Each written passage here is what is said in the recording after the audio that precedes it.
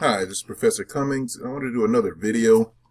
And this time I wanted to go over a concept of how the product rule and the uh, integrating factor are related in solving a, a first order linear differential equation problem. It's not always intuitive to see it, but it's one of those things that if you work through it enough, you will start to see the relationship between between the product rule and, and the integrating factor. So what I'm going to do is I'm going to go through and, and explain first, review the product rule. Then we'll go through and look at the integrating factor and how that plays in. And, and you'll start to see the relationship between the two and how, how it's using the function and features of the product rule in order to make it useful in solving a certain type of differential equation. So first, let's just look at the product rule. First, it is,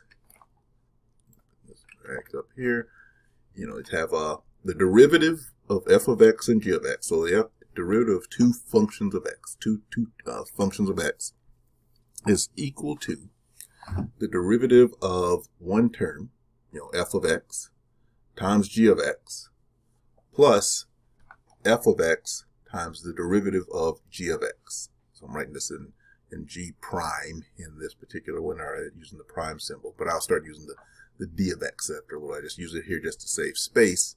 Uh, and now let's look at this in terms of application, right? So if you have y is equal to the sine of x and, you know, multiplied by x to the fourth, hold on, x to the fourth plus x. So you got two different terms, both functions of x. And they're multiplied together. If you want to get the derivative of this, you'd have to take the derivative of sine of x,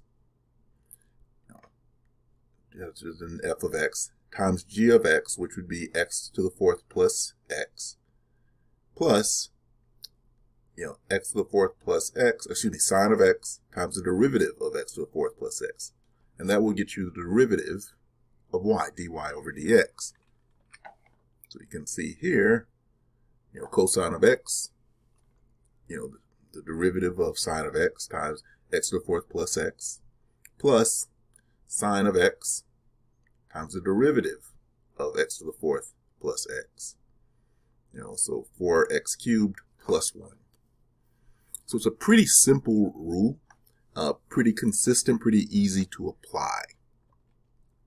You have a derivative, you know, two, you know, the derivative in each each portion of this, and then you got it by the original term.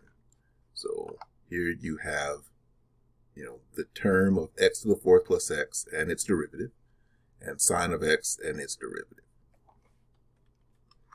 Now, if you needed to integrate this, you know, it's, you can easily see how this can be a, a fairly easy thing to integrate, you know, integrating both sides of this equation. And it would simply, you know, if you try to do it just with this, it would actually be a pretty complicated thing. But knowing what it is going to come down to, you just go back to your original argument. Now keep this in mind as we start to move forward. So here we have, you know, first order linear differential equation. And this is it in standard form. dy over dx plus p of x times y is equal to a function of x. Now, if you had to integrate this to try and solve this differential equation just on its own, just the way it looks by itself, it would actually be pretty complicated to do. So what you use is something known as an integrating factor. So to solve a first order linear differential equation, an integrating factor is used to put that standard form equation into the form of the product rule. All right?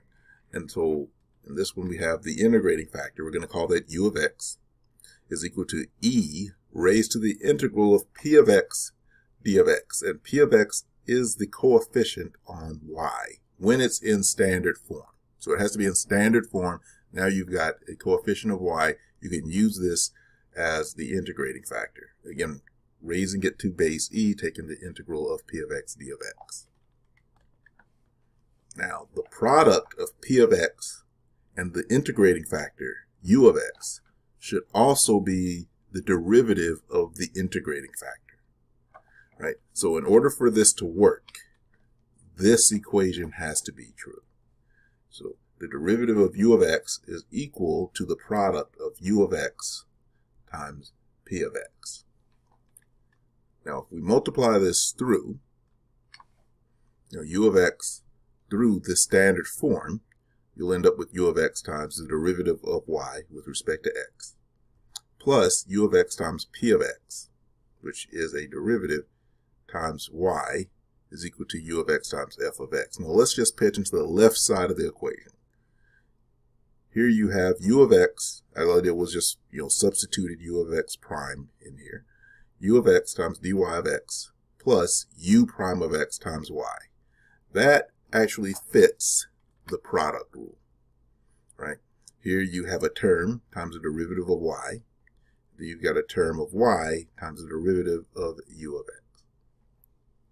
So it fits the product rule. So if we wanted to look at this in another way, we could actually do a substitution knowing that u of x times y, the derivative, is equal to this. Okay, now let's look at this being applied. So here we have the integrating factor. Again, excuse me, the uh, product rule laid out. And what we're going to be doing is looking at the integrating factor as it applies to this. Now I color coded the original terms as red and green so they stand out. Uh, but this is just the product rule laid out again. And let's look at a particular problem. So here we have dy over dx plus y is equal to e to the x. So this is in standard form. It matches the standard form. There's no extra coefficients um, or anything that would take this out of its standard form. It lays out uh, perfectly in the standard form. So that means P of X in this particular case is just 1. There's an implied 1 as a coefficient on Y. And I'm not going to go through all the math, but the U of X would just be e to the X. Right? So if you think of what the equation of, of the integrating factor, e to the integral of 1 dx is just e to the x. So now we have an integrating factor. We multiply through this equation in its standard form. And we end up with dy over dx is equal to e to the x plus e to the x times y. And again, the right side of the equation is not really what we're focused on, but it's e to the 2x, e to the x times e to the x. Now, uh, looking at this, you know, reason I color coded it, g of x is in red. That's just the first term. And f of x being the second term is y. So you got a derivative of y times the term of e to the x plus the derivative of e to the x, which is just e to the x. It's its own derivative times the term of y. So now it's in the form of the product rule. And if we wanted to integrate both sides, which you, you have to do in order to solve a differential equation, you're going to do, uh, you know, you're going to integrate both sides of the equation. But before we do that, let's simplify this by substituting something that's easily integratable on the left side of this equation. Yet keep in mind that it's the product rule. We're going to substitute an equal term or equal function over into that equation. So substitute this for this, which is easy to integrate because it is a derivative. So you get the derivative of e to the x times y, the original two terms, and it is a derivative. So you integrate that side, all you're doing is canceling the, the, the derivative with the integral, and you're left with e to the e to the x times y. And again, that's because these two things are indeed equal to each other. Right? That's just the product rule laid out a little bit different. Now, let's look at another problem. So you got x times dy over dx minus 4y is equal to x to the 6 times e to the x. Again, that is not in standard form. You know, there shouldn't be a coefficient over here. You know, this coefficient. So what we can do, we just divide through everything by x. It gets, in, gets rid of that coefficient.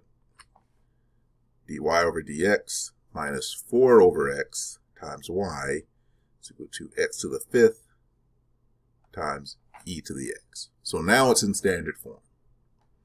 And in standard form, our p of x will be a negative 4 over x. The standard form is positive, so it's a negative 4 over x. Right? And that will get us our integrating factor.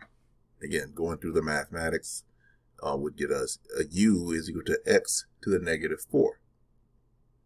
Now we're going to, so this is the integrating factor. We're going to multiply this in its standard form. Notice I'm, again, I'm back to the color codes here.